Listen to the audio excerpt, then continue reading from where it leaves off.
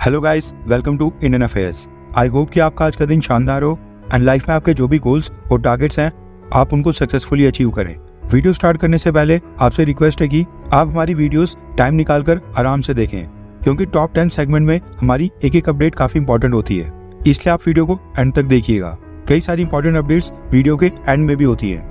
बढ़ते हैं आज की टॉप दस अपडेट्स की तरफ़। सबसे पहली अपडेट आ रही है भारत और मालदीव को लेकर। आपको याद होगा, पिछले कुछ समय से भारत और मालदीव के बीच कितनी कंट्रोवर्सी चल रही थी, लेकिन भारत सरकार लगातार मालदीव को लेकर पॉजिटिव अप्रोच दिखा रही है। इसी कड़ी में पिछले कल भारत के प्रधानमंत्री नरेंद्र मोदी जी ने मालदीव के प्रेसिडेंट मोहम्मद मिजूब और मालदीव के सभी लोगों को भारत की तरफ़ से ईद अल फितर की बधाई दी है।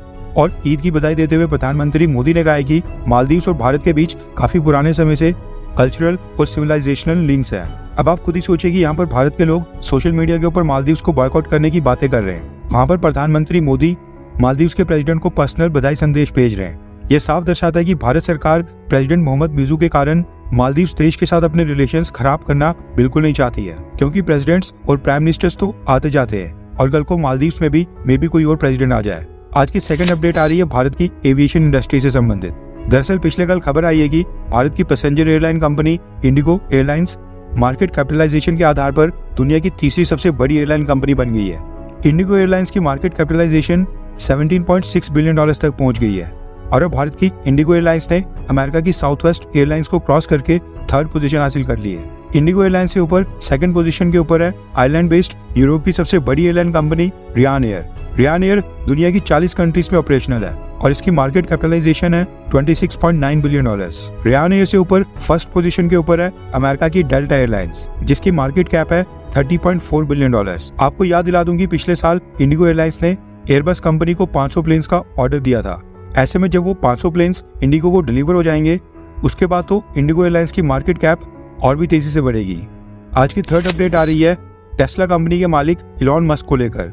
आपकी स्क्रीन के ऊपर एक स्क्रीनशॉट है। दरअसल इलॉन मस्क ने अभी कुछ ही घंटे पहले एक ट्वीट करके खुद ही ये जानकारी दी है कि वो भारत के प्रधानमंत्री मोदी जी के साथ मीटिंग करने का इंतज़ार कर रहे हैं। माना जा रहा है कि प्रधानमंत्री मोदी के साथ उनकी ये मीटिंग टेस्ला कंपनी के भारत में पहले मैन्युफैक्चरिंग प्लांट को लेकर ही होने वाली है और प्रधानमंत्री मोदी के साथ मीटिंग के बाद ही इलॉन मस्क भारत में अपने मैन्युफैक्चरिंग प्लांट की घोषणा कर सकते हैं। अभी तक इस मीटिंग की डेट्स फाइनलाइज नहीं हुई हैं, लेकिन माना जा रहा है कि इस महीने के एंड में वो प्रधानमंत्री मोदी के साथ मीटिंग करेंगे। मीटिंग के लिए वो भारत की राजधानी न्यू दिल्ली आएँगे।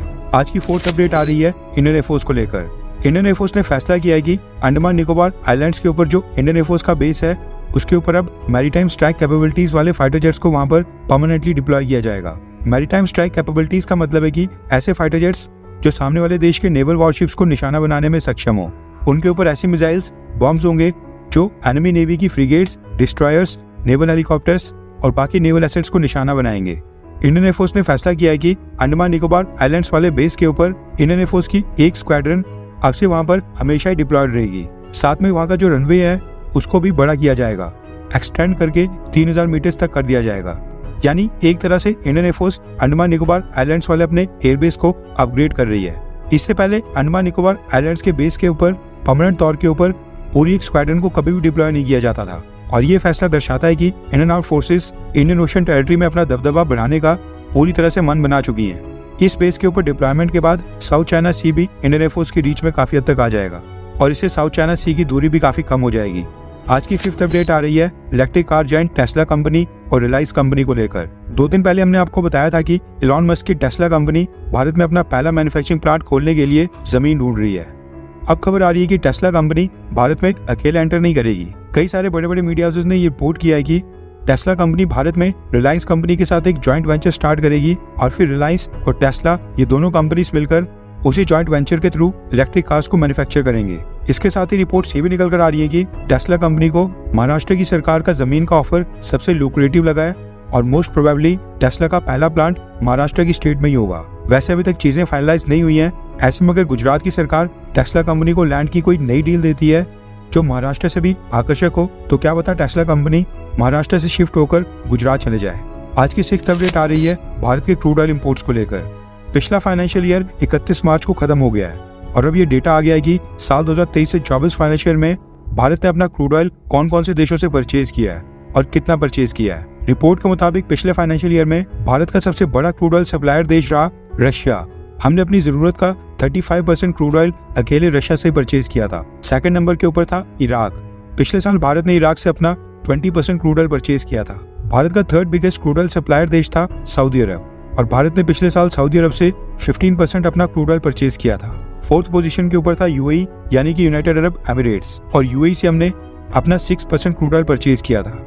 यूएई के बाद पाँचवें नंबर के ऊपर था अमेरिका और हमने पिछले साल अमेरिका से भी अपना साढ़े तीन परसेंट क्रूड ऑयल परचेज किया था। अब ये थे हमारे top five crude oil supplier देश। अब ऐसा नहीं कि भारत ने खाली इन पाँच देशों से क्रूड ऑयल परचेज किया था। इनके अलावा भी हम कई सारी छोटी छोटी क्वांटिटी में कई सारे छोटे छोटे देशों से क्रूड ऑयल परचेज करते हैं। टॉप फाइव के बाद जितने भी बाकी के सप्लायर्स हैं, उन बाकी के देशों से हमने total 20.5 percent crude oil purchase किया था। आज की सेवंथ अपडेट आ रही है कनाडा और भारत को लेकर। कुछ दिन पहले कनाडा की सरकार ने भारत के ऊपर आरोप लगाया था कि भारत कनाडा के इंटरनल अफेयर्स, यानी कि उनके अंदरूनी मामलों में दखल देता है। अब कनाडा ने यू टर्न मार लिया है और कनाडा की इंटेलिजेंस एजेंसी ने रिपोर्ट किया है कि भारत नहीं, बल्कि चाइना ने कनाडा के इलेक्शंस में दखल दी है।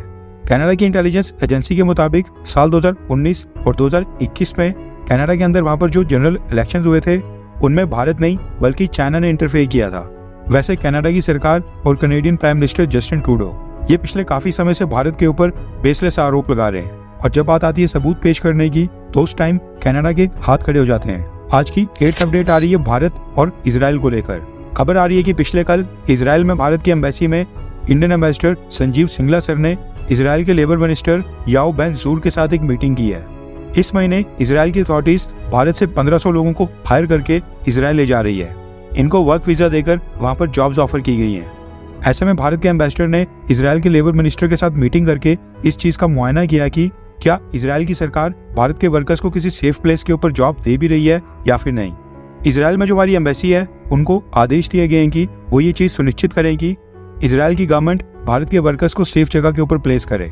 मीटिंग में इसराइल के लेबर मिनिस्टर ने इंडियन एम्बेसडर को ब्रीफ किया कि भारत के वर्कर्स की सेफ्टी और सिक्योरिटी के लिए इसराइल की गवर्नमेंट ने वहाँ पर क्या क्या कदम उठाए हैं। अब क्योंकि ये रिक्रूटमेंट ड्राइव एक तरह से गवर्नमेंट टू गवर्नमेंट हो रही है ऊपर से इस समय इसराइल में कई सारे फ्रंट्स के ऊपर लगातार युद्ध चल रहा है, इसलिए मोदी सरकार अपने देश के लोगों की सिक्योरिटी के लिए एक्स्ट्रा एफर्ट्स कर रही है।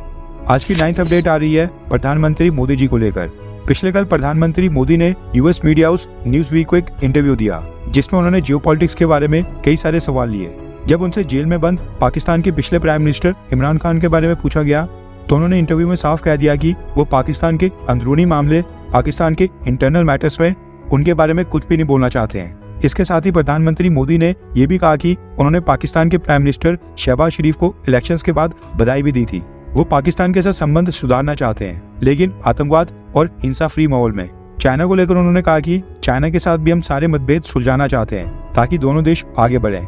इसके साथ ही प्रधानमंत्री मोदी ने कहा कि अमेरिका, भारत, जापान और ऑस्ट्रेलिया, इन चारों देशों ने जो क्वाड संगठन बनाया है, ये चाइना या फिर किसी भी देश को टारगेट करने के लिए नहीं है। बल्कि ब्रिक्स एस की तरह ये भी लाइक माइंडेड यानी एक सोच रखने वाले देशों का संगठन है। आज की टेंथ अपडेट आ रही है अमेरिका और रशिया को लेकर और इसमें यूक्रेन और ईरान का भी लिंक है। आपको याद होगा पिछले साल अमेरिका ने ईरान के कुछ कार्गो शिप्स को सीज किया था जिसमें ईरान की सरकार कई प्रकार के हथियारों को यमन में खुदी विद्रोहियों को बेच रही थी। साल 2021 और साल 2023 के बीच अमेरिका ने ईरान के कई सारे कार्गो शिप्स इसी तरह से पकड़े थे जिनको उन्होंने सीज किया था और इन सारे शिप्स में पाँच हज़ार A K forty seven assault rifles थी स्नाइपर राइफल्स थी और पाँच लाख से ज़्यादा एमिनेशन के राउंड थे। अब अमेरिका ने क्या किया है कि ईरान के ये सारे हथियार यूक्रेन को ट्रांसफ़र कर दिए हैं, जिसका मतलब है कि यूक्रेन अब ईरान के हथियारों को रशिया के खिलाफ यूज़ करेगा। वैसे अगर आप ये वीडियो यहाँ तक देख रहे हैं तो इसका मतलब है कि आप हमारी वीडियोस के रेगुलर व्यूवर हैं। आपसे बस एक ही रिक्वेस्ट है कि आप हमारी हर एक वीडियो को लाइक ज़रूर करें, ताकि YouTube हमारी वीडियोस को और लोगों को सजेस्ट करे। एंड अगर आपको हमारी वीडियोस और भी इन्फॉर्मेटिव लगती हैं तो प्लीज़ इनको आप अपने फ्रेंड्स या रिलेटिव्स के साथ टेलीग्राम ग्रुप या फिर व्हाट्सएप ग्रुप के ऊपर शेयर करके हमारे चैनल को सब्सक्राइब करने के लिए बोलें।